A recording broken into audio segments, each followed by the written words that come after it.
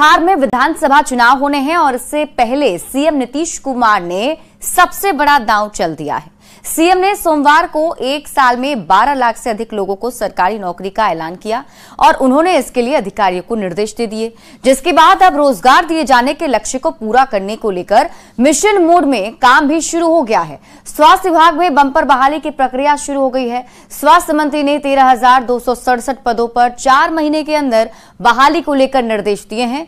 2,724 आयुष चिकित्सक और करीब 4,500 सीएचओ सात medical officer 220 ophthalmic assistant 2,500 staff nurse एक हज़ार दो सौ उनतीस एएनएम नौ लैब टेक्नीशियन 38 लॉजिस्टिक मैनेजर संतानवे अस्पताल प्रबंधक 38 ब्लॉक अकाउंटेंट चौवन प्रखंड सामुदायिक उत्प्रेरक 128 प्रखंड अनुश्रवण सहायक की बहाली होनी है। सहरसा, बेतिया, छपरा में ब्लड कंपोनेंट सेपरेशन यूनिट लगाने के निर्देश भी दिए गए हैं। वहीं एम्स और जीएमसी पूर्णिया में थैलेसीमिया डे केयर यूनिट स्थापित किया जाएगा।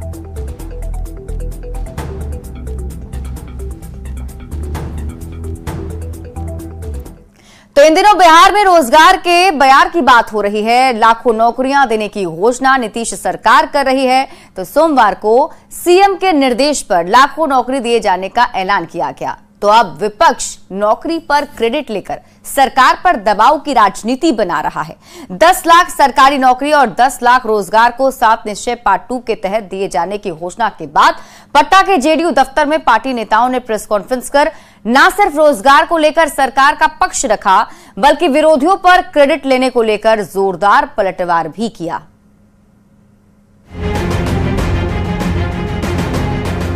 बिहार में महागठबंधन सरकार बनने और टूटने के बाद से सत्ता पक्ष और विपक्ष के बीच सबसे बड़ा चुनावी मुद्दा नौकरी और रोज़गार ही बना है। अब जब तीसरी बार केंद्र में नरेंद्र मोदी की सरकार बनी तो बिहार सरकार भी सात निश्चय पार्ट टू के तहत नौकरी का पिटारा खोल रही है। सोमवार को सीएम के निर्देश पर सभी विभागों में नियुक्ति की प्रक्रिया जल्द पूरी करने का निर्देश दिया गया तो अगले ही दिन मंगलवार को जेडीयू के बड़े नेताओं ने प्रेस कॉन्फ्रेंस कर दावा किया कि सरकार अपने वादे से डेढ़ गुना ज़्यादा नौकरी देने जा रही है।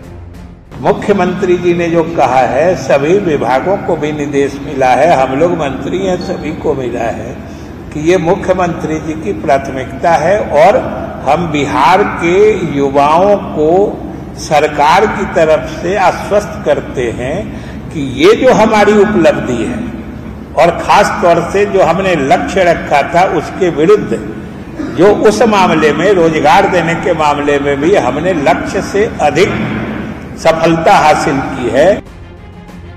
नौकरी पर सरकार का दावा यह है कि 10 लाख का वादा था, अब 22 लाख रोज़गार दिए जाएँगे। पाँच लाख सोलह हज़ार आठ सौ तीस सरकारी नौकरी दी जा चुकी है। एक लाख निन्यानवे हज़ार आठ सौ छियानवे लोगों को नियुक्ति पत्र मिलने जा रहा है। दो लाख ग्यारह हज़ार रिक्तियों की सूचना आयोगों को भेजी जा चुकी है, जबकि तीन लाख रिक्तियाँ अगले साल तक भेज दी जाएँगी। मतलब सरकार ये साफ़ तौर पर कहना चाह रही है कि आगामी विधानसभा चुनाव से ठीक पहले नीतीश कुमार की सरकार वादे से डेढ़ गुना ज़्यादा नौकरी देकर रहेगी। मंत्री विजय चौधरी कहते हैं कि नौकरी पर श्रेय लेने की कोशिश किसी को नहीं करनी चाहिए। तेजस्वी यादव का नाम लिए बगैर विजय चौधरी ने कहा कि सरकार महागठबंधन की सरकार से पहले भी नौकरी दे रही थी और गठबंधन के जाने के बाद भी नौकरी दी जा रही। यह स्पष्ट है कि भले कोई व्यक्ति या कोई पार्टी कुछ भी दावा करे लेकिन आपके सामने जो आंकड़े आए हैं और वो सभी आंकड़े प्रामाणिक हैं सभी विभागों से सम, संकलित आंकड़े हैं। सरकार के दावों पर विपक्ष पलटवार कर रहा है और क्रेडिट लेने की बात कह रहा है। आरजेडी प्रवक्ता शक्ति सिंह यादव कहते हैं कि बिहार में नौकरी का श्रेय तेजस्वी यादव को जाता है। बिहार में नौकरी का श्रेय तेजस्वी जी को जाता है। 2020 के चुनाव में तेजस्वी जी ने बिहार के युवाओं से वादा किया था कि सत्ता में आएँगे तो 10 लाख सरकारी नौकरी देंगे। तो सत्रह महीने का मौका मिला नीतीश जी के साथ काम करने का। मिशन मोड में काम किया। चुनावों में आरजेडी के नेता तेजस्वी यादव के नौकरी का मुद्दा ज़ोर शोर से उठाया था। अपने घोषणा पत्र में मुफ़्त योजनाओं का ज़िक्र भी किया था। अब इसी की काट के लिए बिहार के मुख्यमंत्री नीतीश कुमार ने 10 लाख नौकरी और 10 लाख रोज़गार वाला दांव चल दिया है, जिसे किसी भी हाल में विधानसभा चुनाव से पहले पूरा करने का निर्देश दिया गया है और रोज़गार के इसी चाल पर बिहार की सियासत गर्मा गई है। न्यूज़ एटीन के लिए पटना से शैलेंद्र के साथ ब्यूरो रिपोर्ट। केंद्रीय कपड़ा उद्योग मंत्री गिरिराज सिंह ने बिहार सरकार की तरफ़ से दी जाने वाले नौकरी के फैसले का स्वागत किया है। गिरिराज सिंह ने से नीतीश कुमार की तारीफ़ करते हुए कहा कि एनडीए सरकार में जो काम शुरू हुआ उसका असर अब दिखने लगा है। गिरिराज सिंह ने कहा कि केंद्र और बिहार सरकार लगातार रोज़गार को लेकर बेहतर पहल कर रही है। के नेतृत्व में एनडीए सरकार, भाजपा और जनता दल यू सहित ये संकल्पित है लोगों को रोज़गार देने जब हम सम्मिलित एनडीए थे, उस समय शिक्षकों की बहाली की शुरुआत की थी। जो अभी आपने देखा होगा, डेढ़ लाख नीतीश कुमार ने लगभग लोगों को रोज़गार दी थी। ये रोज़गार ही बिहार सरकार और केंद्र सरकार का लक्ष्य है, लेकिन देश में अब ज़रूरत है जनसंख्या नियंत्रण कानून कैसे लागू क्योंकि बढ़ती हुई आबादी भी एक समस्या है। बिहार में संभावित बाढ़ और सुखाड़ से निपटने के लिए सरकार ने तैयारियाँ शुरू कर दी हैं। सीएम नीतीश कुमार की अध्यक्षता में पटना में बाढ़ और सुखाड़ के पहल को, पहले तैयारी को लेकर हाई लेवल समीक्षा बैठक हुई। बैठक में दोनों उप मुख्यमंत्री के साथ साथ जल संसाधन मंत्री विजय चौधरी और कई वरिष्ठ अधिकारी भी मौजूद रहे। बाढ़ और सुखाड़ दोनों की संभावनाओं को ध्यान में रखते हुए सभी विभाग के अधिकारी और सभी जिलों के डीएम को पूरी तरह अलर्ट रहने के निर्देश दिए गए हैं।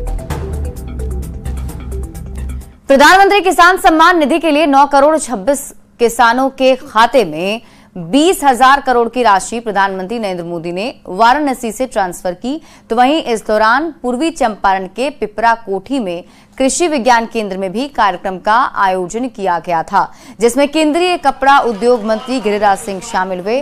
इस कार्यक्रम में किसान और कृषि वैज्ञानिकों के साथ साथ काफ़ी संख्या में लोग मौजूद रहे। इस अवसर पर केंद्रीय मंत्री ने कहा कि सरकार की तरफ़ से जितनी राशि लाभुकों को भेजी जाती है, उतनी राशि उन्हें मिलती है। के की चोट पे कहता हूँ किसमें हिम्मत है जहाँ कहे लालू यादव हो, तेजस्वी हो, राहुल गांधी हो, कम्युनिस्ट हो। भारतीय जनता पार्टी का गाँव का कार्यकर्ता उनकी से बहस करने को तैयार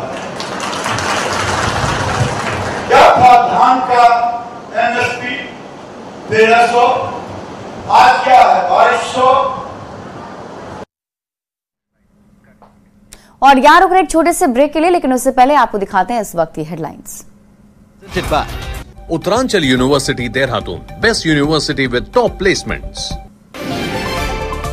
तीसरी बार पीएम बनने के बाद आज पीएम मोदी का पहला बिहार दौरा नालंदा विश्वविद्यालय के नवनिर्मित कैंपस का करेंगे उद्घाटन.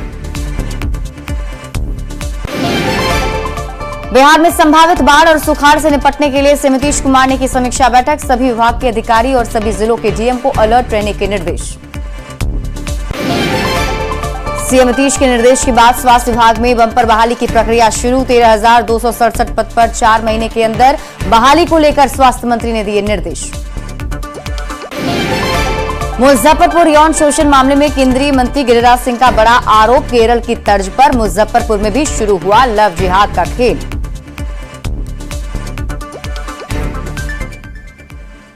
वहाँ केरल की ईसाई भी तबाह है और हिंदू तो तबाह है ही।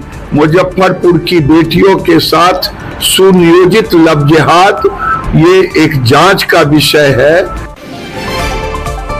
अररिया में पुल गिरने के मामले में बिहार सरकार का एक्शन पुल बनाने वाले दो इंजीनियर निलंबित ठेकेदार के खिलाफ एफआईआर दर्ज कर ब्लैकलिस्ट करने का निर्देश। Presented by Uttaranchal university Dehradun best university with top placement